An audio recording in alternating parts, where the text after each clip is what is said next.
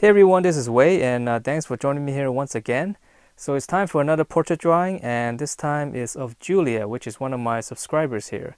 So uh, let's get started and I'll talk about the process along the way. Alright, so to draw this portrait, let's just start out, you know, by plotting in some points and I always like to work um, on the left side first since I'm right-handed so I can see what I've drawn. So I'm just gonna block in, uh, let's see, alright, let's just start with the, around the hair area right here. I'm just gonna do that and then go from there because that's where where eye is gonna be.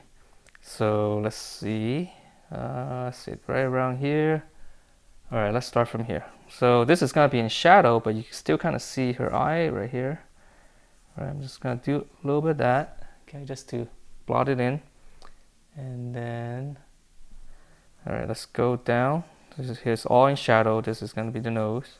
Okay, and then let's go I'm going to go across to the other eye since that's going to be um, one of the major focus you know, for a portrait, obviously, the eyes. So let's draw that eye. And I'm just going to rough in, let's see, probably around that size. And if you're doing this and, you know, it's, it's, it's not all that accurate, it's, it's okay. Um, just kind of keep going because, you know, you will get more and more accurate as you, just the more you draw. So let's see, now, now I'm checking the proportions. Let's see the eye and then in between the eyes, it's uh, usually it's like the space of one eye. Uh, let's see it. So that's about, uh, okay. So I'm gonna correct this eye right here. It's a little bit too far apart, so I'm gonna correct that. Okay, and then the hair is gonna come down here and you can barely see the pupil I mean the iris right there. Okay. All right close enough right? So now we can move down. Uh, let's out our nose. So we go straight down. We know um, from the corner of the eye we go straight down. We know we're gonna hit all right let me move this up a little bit. We know we're gonna hit hit the her nostril the, okay on the edge. So to measure the angle um, like how far down it goes, right? So I'm gonna envision the corner of her eye and going down to her nose and just kind of try to see that angle on the reference. I'm gonna try to sketch the same angle. So maybe like somewhere around here. Okay, and then we'll just go from there. And again, if the angle is wrong, you know, then you end up, you know, making the nose too long or too short. But let's not worry about too much because the most important thing is to actually to just sketch it out you know draw something even if it's off it's okay. Because again if you need it to be really accurate um, just trace it seriously. I mean that's how a lot of portrait artists do it. You know they, they don't go by eye you know. Um, all right. So we have that and then we're gonna go straight down to the lip right here. Uh, relatively short right? So it's like so I'm measuring from the corner, you know, to the to the to the lip, just trying to visualize the angle right around here, and then the, the corner of her lip. Uh, let's see, from this angle again, we're gonna go straight. It's a little bit somewhere around there. If we go and we can check it, if we go straight up, it's gonna hit her iris, our pupil, right around there. So probably right around here. All right, close enough. Let's move on. Her lip. Okay. So, all right, so we kind of blotted out some of the, major features. Now let's go, go in and do the hair because it's actually, this will help us in doing the, uh, you know, to cut off her face because that's how it is in the reference. And see her chin, probably around less than half, right? This direction this angle right here so right around here. Okay and then we're gonna go straight up. And then okay we can start back up here now you know now that we have more reference. Okay the hair and then the corner of the hair you see see we go straight up. It's right around her corner of her eye. So uh, right around there. So we know that's kind of where the the hair part. And we go straight down. Let's see the shadow area right around there, that distance. Okay, right around here. All right, then the cheekbones kind of go down right around here. Okay, and then we got a little curvature there as a shadow. All right, so we know all this part gonna be dark. Okay, I'm not gonna darken this area because my hand goes over it, and if I make it too dark, then ends up smearing everything, right? All right, so let's see. All right, let's go back here now. Uh, I do like to work on the left side first. And again, I, shouldn't have put this here because now, you know, my hand's on top of this, I'm gonna end up smearing it. But all right, whatever, at least I didn't make it too dark. All right, so now I am using a 4B right here, so it's nice and soft and quick. So for this shadow area, I'm just gonna darken it. Here, here, darken, darken, darken. See, straight down, right around there. Okay, right here, and then her lip. Here's a little bit closer. I'm adjusting for it as I go. Okay, and then now this part is pretty dark. Uh, let's just draw her iris pupil. And actually this whole side of the face is dark, so. All right. So at this point, it might look a little bit weird. Uh, usually that's how it goes at the beginning. All right, let's let's put a little bit more detail on this eye since this eye needs to be uh, cleaner. Corner of the eye, and this iris comes down, and then eyelids and then let's do we know that's gonna be dark right? That's the pupil. And let's there's not a lot of highlight in the photos but I'm just gonna leave a little bit more. So I'm just gonna do a little circle like that just so that I know that's where the highlight is so I don't go into it. And then I'm just gonna shade the rest and the eyeball is always kind of fun to draw because it really comes alive. The top is usually darker. And even if it isn't in the in the reference um, those are kind of things you can just kind of fake anyways. You know just make it the top area right here a little bit darker than the bottom. It really gives it a nice uh, uh, you know overall round shape to it when there's a little bit of gradation in the shading this is darker and then this part is dark now the lower uh, see some eyelash right there and remember you know, we always talk about this in drawing a portrait. Um, the lower lid is always uh, some white right here, right? As it folds out, so it's important to leave a little bit of that white. All right, so now I'm seeing more. This is darker, right around there. Okay. All right, so now the eye is starting to pop out, right? And I'm just gonna keep using this 4B right now because it's really it's a little bit faster. And once I shade, shade enough of this, um, I'll switch to a 2B. So I can get a little bit sharper lines and uh, add in a little bit more detail. And oh, actually, let's do it now. All right, so I'm gonna do a 2B. I'm gonna go in and shade it a little bit cleaner.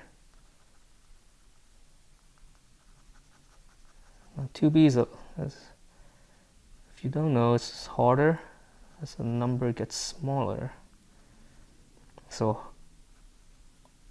harder pencil means, well, a little bit finer tip, right? Finer tip, that means you're gonna be able to hit in some of the, shading some of the areas on, you know, fill in the paper a little bit cleaner. Whereas the soft pencil really you know leaves a lot of texture. And I am using uh, these are 80 pound sketching paper drawing paper. Strathmore I believe and there's a lot of texture to it. So if you use a soft pencil you will leave a lot of uh, areas you know because there's a lot of bumps and it's nice, you know. It's, it's just overall, it's a and yeah, I love that kind of pencil look, anyways. And if you don't like it, you can always just smear it with your finger or stump. But for this one, I don't know. I might just keep this kind of texture overall all the way through. All right, let's do darker. And rotating the pencil just get a little sharper edge and I can put in like just little lines like that just to make it look like there's a lot more detail than it really is. Put a little bit more eyeliner. Okay. Okay. So let's see how's the eye looking. Okay, it's actually looking okay. All right. Let's shade it in a little bit more, a little bit cleaner. And here I'm fading it out. I'm using a lot very light touch on the pen pencil. You know, don't push onto it, just kind of let it fall off your hand. All right, so now I have that. Uh, depends what you want to do. Well, let's go. Let's go to the other eye, so it doesn't look so odd now that we've done the other. Right. Now this part is pretty dark. Um, we're gonna have to shade it dark. and this will probably leave a lot more you know sketchy lines which is fine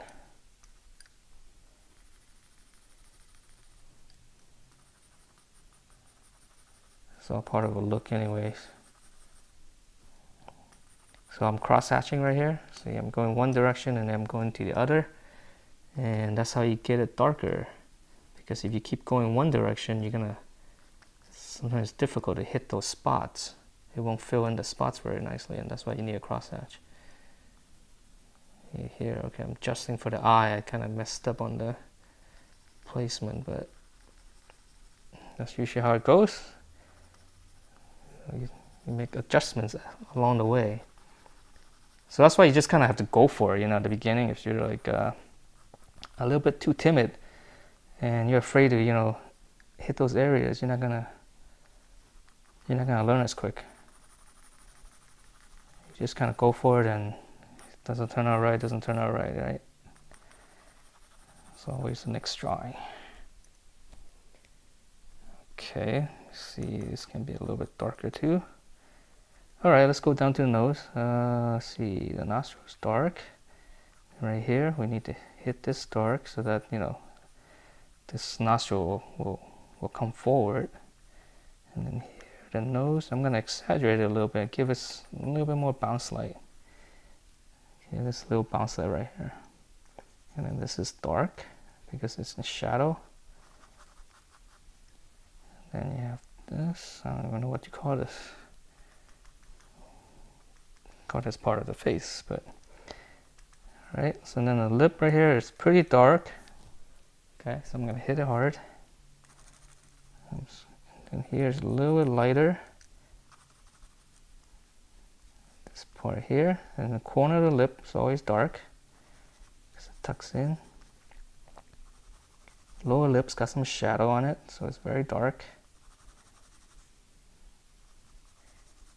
underneath the lip all right this I can't I can't see as much on the reference because it's relatively small but I can kind of understand the structure of the face a little bit. All right, so now I'm filling the hair a little bit more.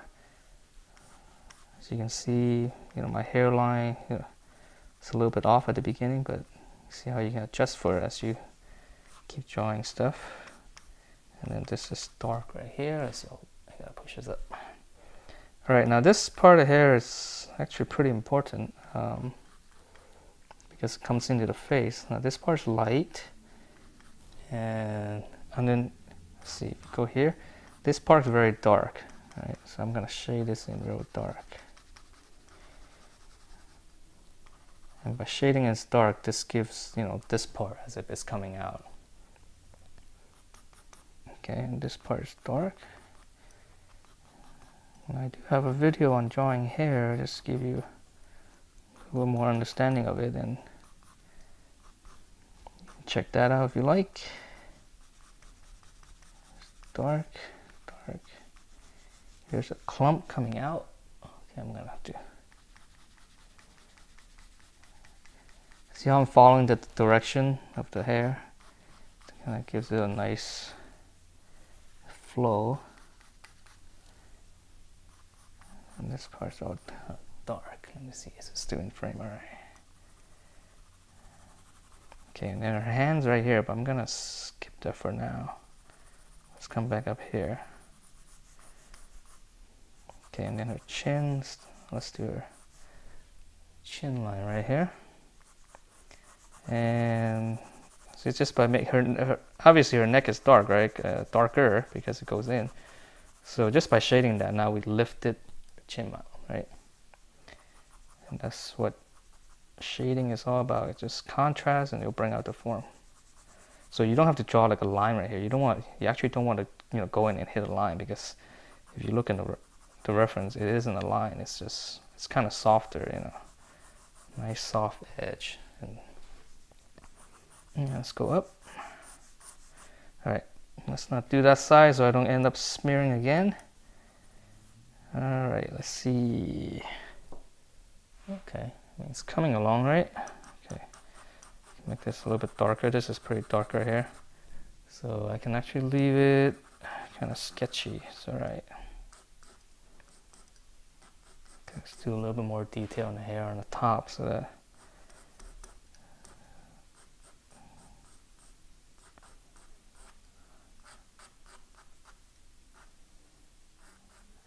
Now for the hair, um, I can use an electric eraser later and give it some more, bring back some of the white. But for now I'm just kind of shading the dark a little bit more. Try to figure out the flow of the hair. And that's the most important part, figuring out the flow. Because once you figure out how to, everything's flowing, then it's a lot easier. Right, so this is dark.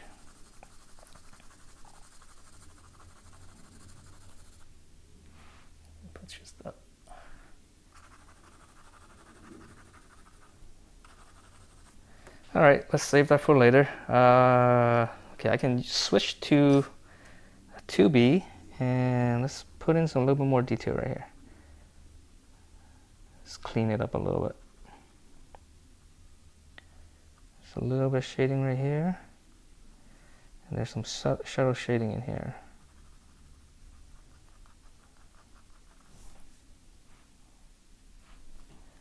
thinking if I should smudge this because the shading on this is actually pretty it's not a lot of hard lighting. So sometimes smudging might actually work better. That may be a little bit quicker. Okay. all right let's smudge it. Let's smudge it. All right so I'm just um just gonna use my finger uh, I think it might work well for it's kind of soft, softer drawing.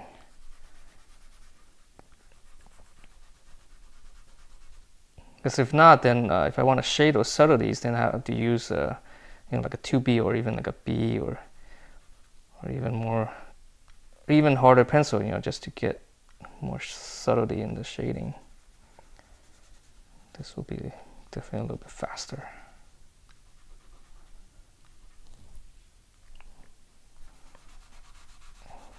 That, that.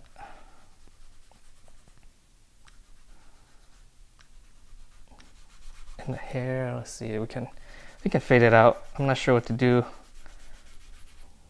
The side of hair, because sometimes you don't want to just, you know, you make this hair area all black, which is, you know, kind of what the reference is. It, it tends to take the art out of it, you know, it gets really boring, right?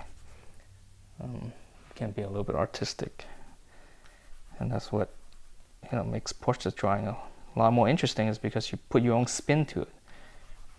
You control the lighting you control the value so that you can have the view, viewer you know see what you want them to see first.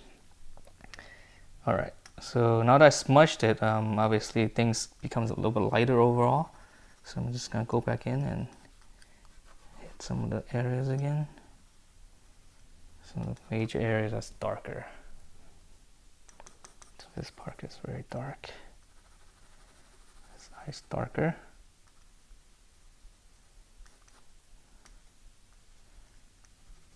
It's very dark in here. So now as, as I make this darker, then I gotta make, you know, the other face, part of the face darker, right? Because it all kind of, it's all relative. So in a way, I'm kind of working in stages because I, I, you know, because I didn't get the value correct right off the bat. I didn't go too dark.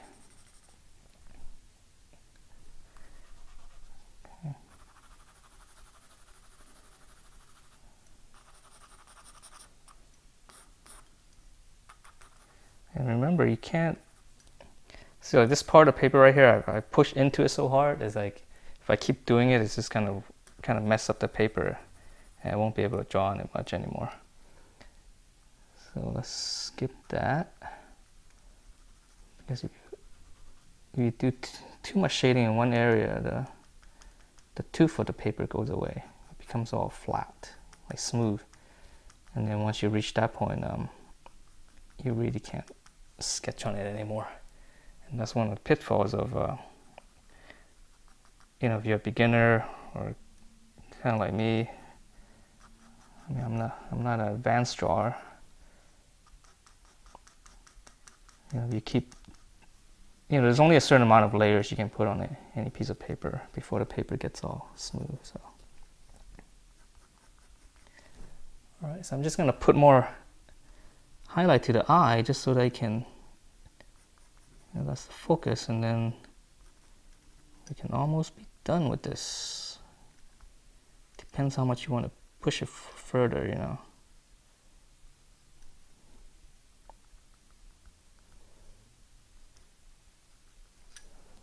okay I'm to use a 2B just to give this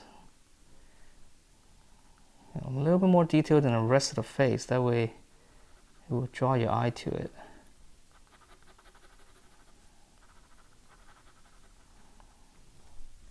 And remember, you know, any, any area that you don't put a lot of detail or it's kind of fuzzy, that's the area that, you know, people will tend to see less, at least, at least at the beginning. So that's how you try to focus their eyes. Like anything that's dark, sharp and you know very there's a lot of contrast and a lot of detail you know when you first look at it that's your eyes just going to be drawn to that so if you want to spend most of your time on a, on a portrait do it on the eyes you know and you'll see that uh, it really comes out so here I'm using a 2B and I'm just see how lightly I'm just kind of shading it in? Might have made that a little bit too dark but okay. And that will just you know start slowly build up more and more detail and more a little bit more and more more and more accuracy. Let's continue that. So now that eye yeah this eye is starting to pop out nicely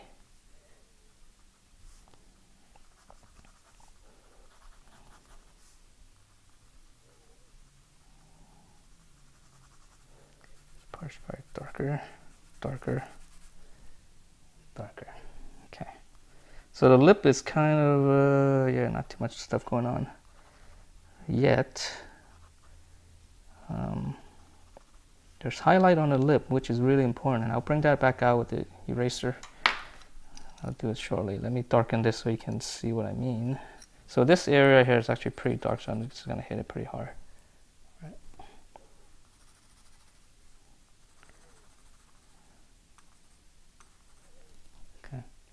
So this is another way of shading. If you just make, you know, where, where the, this is what they call the terminator, where the life ends, and then everything else is kind of, you know, depending on reflective light. You can make this a little bit lighter. Um, like you don't have to fill this thing all black and and it'll still look good and, and you see a lot of that in drawing the way how they do the shadow they make the terminator that area right there darker and then everything else just kind of fades out. It's a little bit more artistic that way. All right, let's see hair down here. It should be darker. Yeah, be careful about making everything too dark, but then, then it just kind of gets a little boring. We can always exaggerate it, right? Exaggerate it so that you can give it a little bit more hair than know, slightly different flow.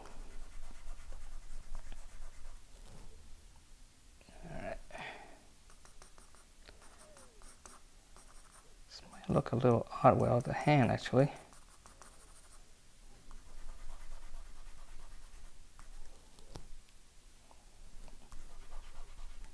Alright, so uh, actually let me, alright, let me bring out the electric eraser and let me show you what I mean. So let's say you have the lip like this. I'm gonna bring back some of the highlight, which is really important. See that? See? And that will give you back some of the highlight. Now even on the top of the lip, let's say smear that. Okay, it's a little bit too much obviously.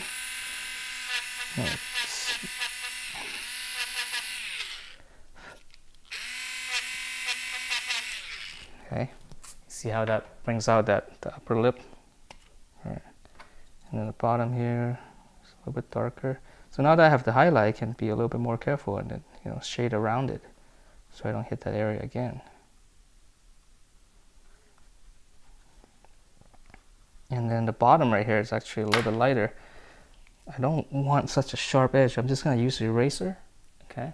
And I'm just gonna dab it and that will give me some of the whites back. You see that?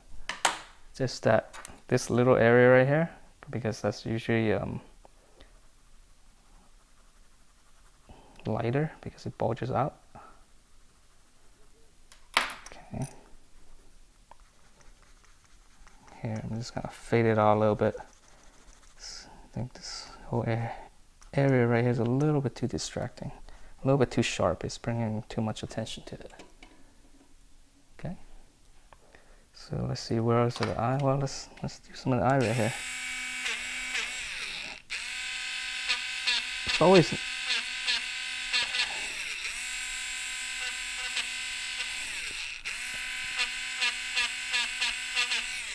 okay. Now right here you see white so you see it really brings out the sparkle right it just it kind of brings the life of the drawing out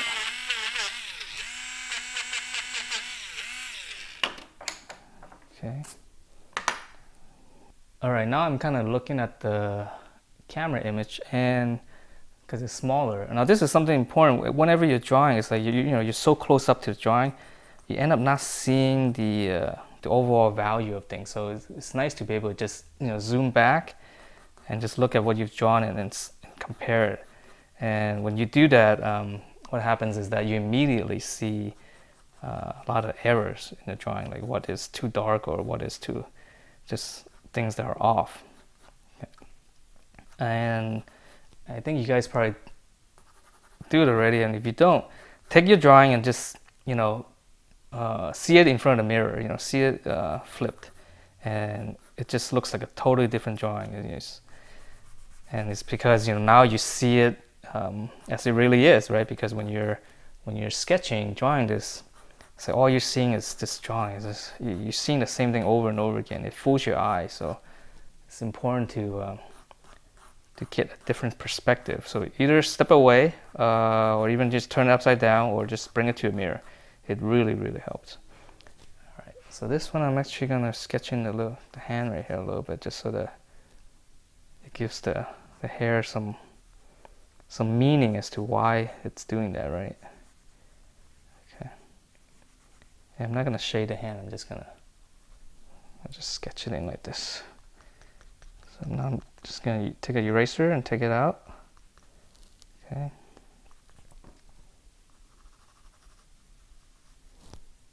Okay. So with this drawing, I mean, you know, it just depends on how much you want to do to it. Uh, um, let's go back up to the face. This hair area right here is bugging me because every time I look at it, it's a little bit too light. So I'm gonna make it darker. Yeah, so you see how that takes away the, the emphasis of the hair and now, now you're looking back in the eye, which is good because this was just way too, uh, way too light. Um, but there are some strands, so I'm gonna hit that with a eraser.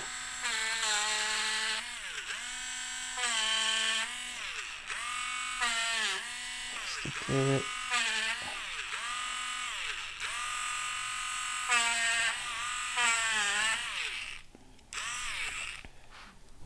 Okay.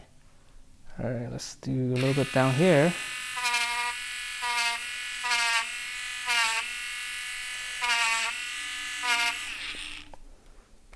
Maybe even some smaller ones.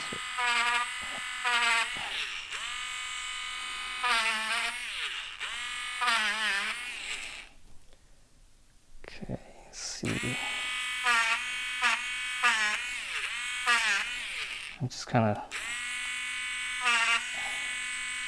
I'm just kind of making it up on my own. Um, all right. See, again, it's, let's clean it up a little bit so that it's not so sharp. That will help fade it out a little bit. Now, if I wanted to, uh, with the hair, now I can go in and draw in a little bit more strands around it, and that'll really bring out the white of the hair, right? Like if I make this darker now this this strand you know the area around it it really pop it up.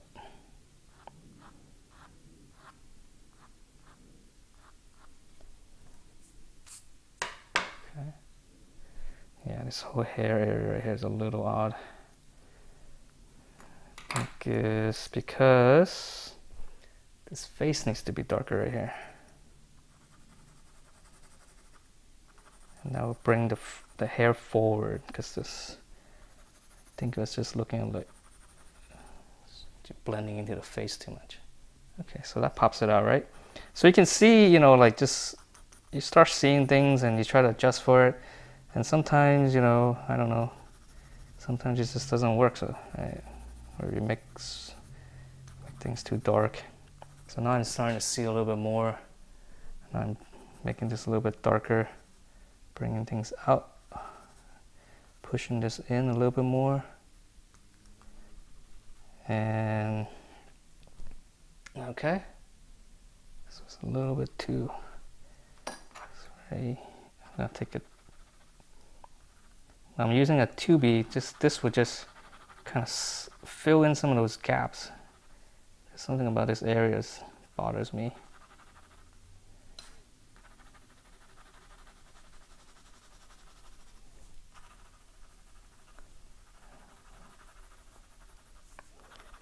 Okay. So you can see, you know, whenever you're working with dark drawings, it's, you know, you might run into issues and it is a lot harder to, to draw something that's dark where you gotta do a lot of shading. So this part, um, I think I'm kind of done. I don't want to go in too much.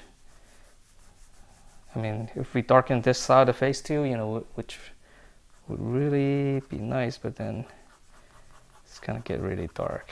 So I'm just gonna yeah. maybe this can go a little bit darker. Alright, so this is how the uh, final drawing turned out. Uh, one of the major uh, changes I did was just around the hair area because it was just a little bit too distracting right around her chin so I kind of darkened that um, area quite a bit. But other than that, uh, most of the stuff happened on screen so just give it a shot and see how it goes and I will see you next time.